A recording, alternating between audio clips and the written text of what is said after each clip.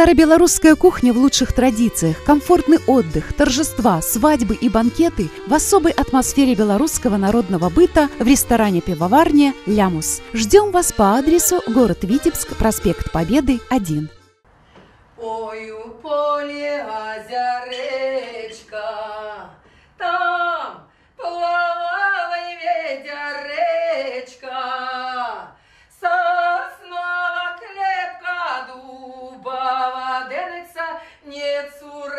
цурайся ж мое сердце.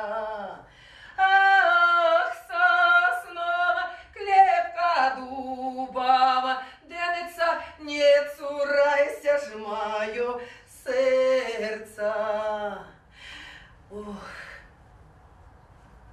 Час вечеру готовать, ды вечерки распачать, гули, песни и забавы, есть у нас для этой справы. У-у-у! Добрый вечер, дорогие друзья! Мы рады приветствовать вас в ресторане пивоварни «Лямус». И сегодня у нас замечательная гостья из Шарковщины. Встречайте! Здравствуйте, Добрый вечер! Как же вас зовут? Людмила. Людмила, очень приятно сердцу и людям мило. Людочка, скажите, а какое блюдо мы сегодня будем с вами готовить? А сегодня мы будем готовить старообрядческое блюдо фасолевка, а еще рыбу по соусам из хрена. О, даже два блюда.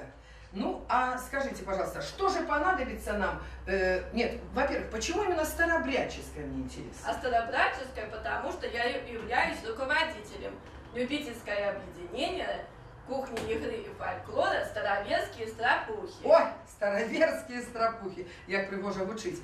А скажите, а э, какие же женщины туда к вам приходят? Может, и молодежь тоже? Или вот какого возраста там э, люди? А женщин у нас разного возраста. Есть бабушки, которым 82 уже года. А есть и молодежь, которым еще по 18 только. Вот как. Значит, мы готовим сегодня два блюда. Я думаю, что нам понадобится помощник и профессионал. Давайте же пригласим сюда Евгения. Здравствуйте. Здравствуйте, Женя. Ну, меня-то вы знаете, я Степановна. А вы познакомьтесь, пожалуйста, с Людмилой. Она приехала из Шарковщины и привезла нам уникальные старообрядческие рецепты. Наша, нам понадобится ваша помощь. Итак, э, начнем. С чего мы начнем, Люда? Сразу мы будем готовить фасолевку. Для этого нам понадобится фасоль. Потом нам понадобится перловка. Так. Перловку мы уже отварили, как видите, отварили в соленой воде. Потом нам понадобится сало, капуха горами плясала, О, чудовно. зелень, приправа. Здесь нам понадобится рыба, хрен, лимон, соль, сахар, мука, яйца И вот я маргарин. вижу маслице тоже. Нет, это маргарин. Это маргарин. Так, вот уже интересно. Готовить мы будем первым делом фасолевку. Так. Евгений нам поможет. Э, какие обязанности мы распределяем? Евгений, ш- э, наверное, мужчина будет резать, я думаю, что мясо, да? Нет, может, зелень лучше пускай. У нас специалист режет Зелень, зелень. Мясо порежу я. А я хочу спросить у вас, э, Женя, скажите, готовили ли вы когда-нибудь вот такое вот блюдо с фасолью, и вот тут, э, получается, э, крупа еще сюда перловая входит? Готовили что-нибудь такое? фасолью с перловкой готовил, но в совместном сочетании не встречал. Отлично, значит, вот сегодня будем здесь ворожить над этим блюдом. Ну что, поехали? Были времена, когда перловка являлась блюдом только для знатных персон. Позже процесс производства этой крупы упростился, и перловка, благодаря своей дешевизне, даже вошла в повседневное армейское меню. В этой крупе содержится много лизина, который принимает участие в синтезе коллагена, отвечающего за эластичность кожи и предотвращающего появление морщин. Перловка мало того, что безопасна, она полезна для аллергиков, ведь в ней содержатся аминокислоты, которые уменьшают восприимчивость организма к разнообразным внешним раздражителям. А вы, Степановна, чтобы не заскучали, позаймитесь приправой. Замечательно. Женя у нас займется зеленью, а я буду нарезать сало. Очень хорошо. Евгений, передайте мне перчик для начала. Так. О, перцу подсыпали. Морковку лучше натереть или нарезать? Кто как желает. можно нарезать кубиками, а можно натереть стружкой. Морковь бывает всех размеров, форм и цветов. Она растет по всему миру, а уникальность моркови в том, что собирать ее можно, не дожидаясь окончания ее роста. Морковь применяется в кухонных рецептах практически всех стран. Ее можно варить, тушить, запекать или просто есть в сыром виде. Выращивают ее уже более двух тысяч лет. Правда, в древние времена морковка мало походила на сегодняшнюю. Цвет могла иметь фиолетовый, белый, желтый и даже черный, только не оранжевый. Привычно нам оттенок она приобрела благодаря голландским селекционерам, которые вывели новый яркий и сладкий сорт в честь принца Вильяма Оранжского. Лук мы будем резать кольцами. Зелень потом измельчим. А вот я знаю, что зелень, даже говорят, нужно э, не резать ножом, а рвать руками, что остается э, особая энергетика в них, да? Это так или нет? Да, раньше и хлеб даже ломали руками, так что зелень можно не резать, можно нарывать руками. Польза репчатого лука в борьбе с инфекционными заболеваниями давно ни для кого не секрет. Он способен поглощать болезнетворные микроорганизмы и удерживать их внутри себя. Такой вот своеобразный магнит для микробов. Поэтому никогда не разрезайте головку лука заранее, задолго до готовки. Не храните его в очищенном виде, чтобы он не успел вобрать в себя все, что вокруг летает. Слезы же, которые проливает тот, кто лук раздевает, вызывается летучим веществом лакриматором, который растворяется в воде и слезах человека. Не дайте ему добраться до ваших глаз, смочите нож заранее. Кстати, парадокс. Острые сорта лука богаче сахарами, чем сладкие, а внутренние чешуйки, чем внешние. Итак, у нас готовы овощи и нарезано сало.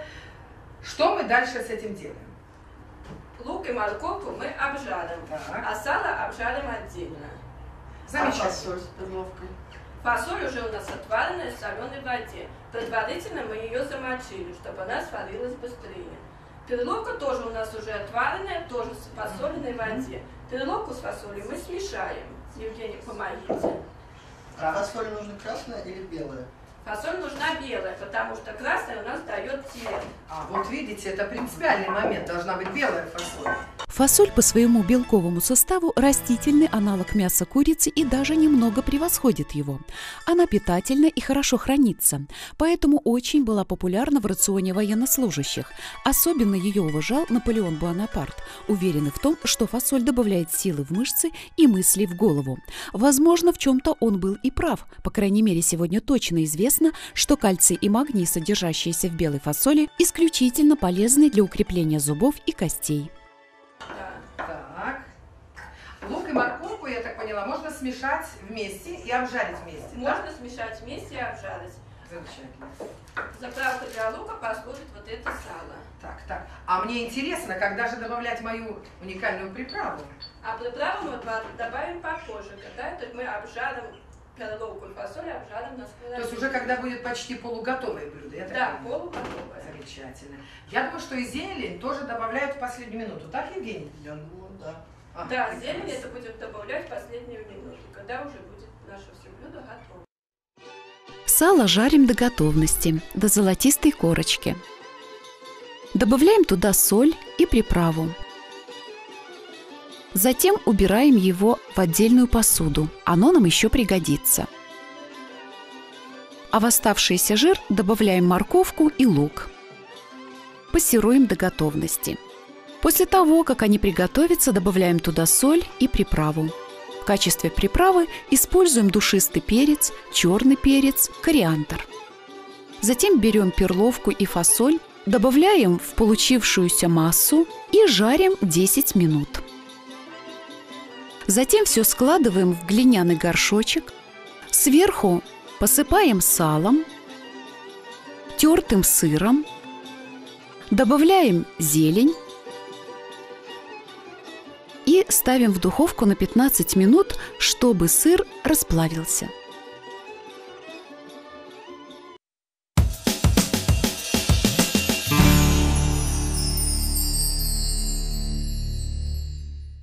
Я думаю, самое время приступить э, к нашей рыбке, да? Э, Евгений, э, что нужно сделать сейчас с ней? Вот подсказывайте. Во-первых, ее посолить, поперчить надо. Уже мы это сделали, так. И сбрызнем соком лимона. А для чего это надо сбрызнуть? Для вкуса или для запаха, для цвета? Он берет специфический запах рыбы. Замечательно, давайте будем это делать. Давайте. А раньше использовали рыбу ручную, и это не делали. Со временем мы чуть-чуть Так. рецепт этот уже усовершенствовали. Рыба была какая раньше? попробовать. Щука, карась. А можно уже использовать и рыбу хек. Ага. Хек весьма привлекателен с кулинарной точки зрения, потому что в нем очень мало костей, которые к тому же легко вынимаются. Вдобавок к этому мясо хека считается нежирным и может использоваться в качестве диетического. Любители этой рыбы с каждой новой порцией избавляются от токсинов и свободных радикалов, а также поддерживают нужный уровень сахара в крови. Мясо хека до краев наполнено полезными веществами, в число которых входят такие важные минералы, как кальций, фосфор, железо, цинк, йод, целая группа витаминов и легко усвояемые белки. При этом важно, чтобы хек был заморожен всего один раз и хранился по технологии. На рыбке должен быть не толстый слой ледяной глазури, чтобы за время хранения она не высохла и не утратила своего вкуса и запаха. Так, Евгений, я передаю вам рыбку. Пожалуйста. А рыбку завернем мы в фольгу. Ну, А в данном случае на что? У нас пергамент. Можно завернуть пергамент? можно, конечно. Раньше как готовили? Все это в русской печи. Так. Заворачиваем.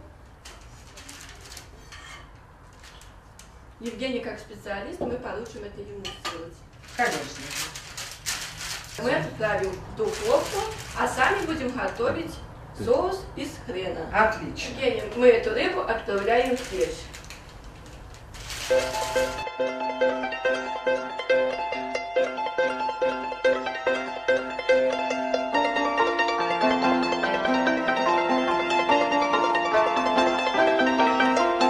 Степановна, а вы натрете хрен? Ой, ну придется, куда деваться? А я буду Ага. заниматься желтками. Подайте мне желтки. Пожалуйста. И, наверное, вот эту пиалочку, так? Да. А я, в свою очередь, попрошу вас передать мне терочку и посуду для того, чтобы натереть туда хрен. Пожалуйста. Пожалуйста, давайте. Так. Даже не знаю, как я справлюсь с этим сложным заданием. А вот и Евгений, замечательно. Вы вовремя, Женечка. Наша рыбка в печи. Пожалуйста, как готовить соус? Для того, чтобы приготовить соус, главное нужно стереть хрен. Женя, я поручаю вам это. Пожалуйста. Так. У вас лучше получится. Я отделю от желтки от белка. Степановна, вам ложка, трите маргарин. Замечательно. А Да. я буду отделять желтки от белков. Все заняты процессом. В сковороду кладем маргарин и растапливаем его. Пока маргарин растапливается, мы готовим заколотку. В рыбный бульон добавляем 2 столовые ложки муки. Хорошо размешиваем и добавляем в растопленный маргарин. Помешивая, добавляем хрен. Жарим примерно 10 минут. Снимаем с плиты. После жарки в содержимое добавляем сок лимона, соль и сахар по вкусу. В получившуюся смесь добавляем взбитые желтки. Добавляем аккуратно, тоненькой струйкой, чтобы они не свернулись. Еще добавляем 2 ложки сметаны и хорошо перемешиваем. Соус готов.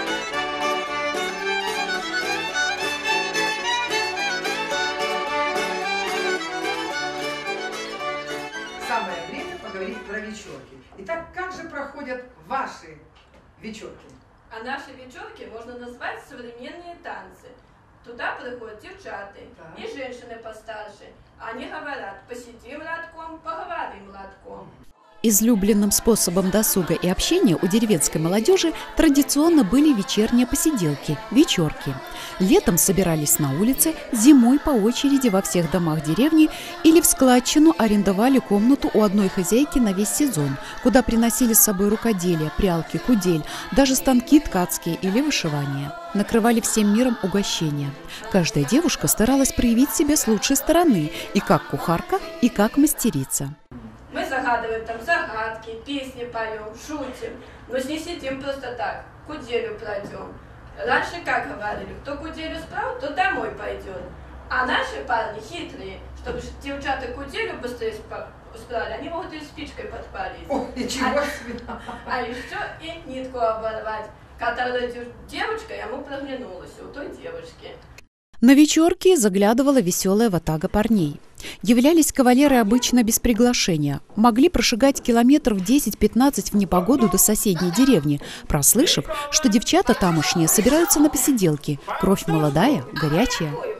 Девушки, конечно, рады были таким гостям, хотя виду старались не подавать, а чтоб парни не зазнавались слишком. На вечерках веселье и оживление, которое приходило в дом с веселыми частушками, дразнилками, танцами, преображало всех участников. Приветствовалась деликатная и тактичная культура ухаживания, порицалась излишняя напористость. Строго-настрого запрещалось являться на такие праздники в подпитии. Пьяный кавалер был вообще посмешищем. С ним ни одна девушка плясать не пойдет. Вот такое бытовало мнение. А скажите еще, вот еще, э, вы говорили про загадки. Может, какую-нибудь интересную загадку загадаете всем нам? Загадаю тебе, Степановну, загадку. Давайте. Утром в рот, в обед уже вот, а вечером вон. Что бы это могло быть? Даже не могу догадаться. Утром в рот, живот. А это вот сюда и пришло. Что это у нас? Как... Наверное, горшок этот глиняный, да? Правильно. Только я не могу понять, а потом что с ним произошло? Как вот финал-то мне не понятно. Ну как, печь поставили, это так. рот. А горшок кашу съели, уже вот. А вон горшок упал и разбился, а? его выбросили. Замечательная загадка. Жень, вам понравилась такая загадка? С вечерок парами уходили редко, чаще группами. Таким образом, за несколько лет до свадьбы будущие женихи и невесты хорошо узнавали всю окрестную молодежь, имели возможность срубить дерево по себе, найти пару наиболее подходящую. Впрочем, их мнение чаще всего решающим не было. Окончательное слово было за родителями. Ну что, я думаю, самое время, может быть, попробовать эти блюда. Ну, давайте попробуем, что у нас получилось. А вот на вечерках-то песни пели. И вот под это блюдо, может, какую-то такую песенку с вами споем. Попробуем? А может, вы споете нам? Била мяне мати, березовым прутом, чтобы я не стояла с молодым рекрутом. Хочется попробовать уже вот это замечательное блюдо. С чего начнем? С рыбки или с фасолевки? Наверное, с рыбки. С рыбки? Рыбка готова. Рыбка готова. Так, ой, мне хочется самый лакомый кусочек. Не терпится попробовать. Так, спасибо большое. Ну-ка, ну-ка, ну-ка. Загадаю желание. Никогда не пробовала такую рыбу. М-м-м. Пальчики оближешь. Вкуснотища. Женя, вы как повар попробуйте и дайте вашу оценку.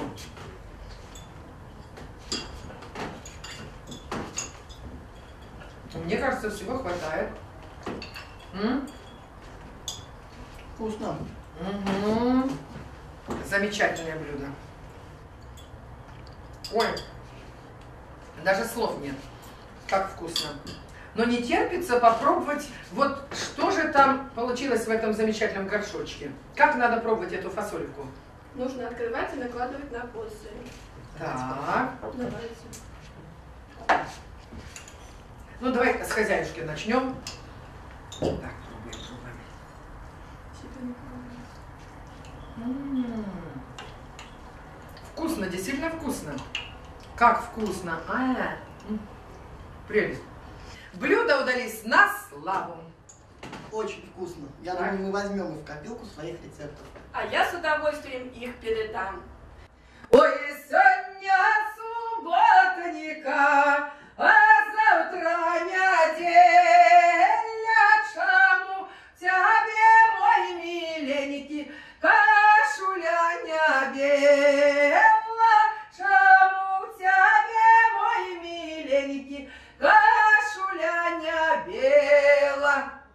удовольствием приглашаем гостей и жителей города Витебска в ресторан-пивоварню «Лямус».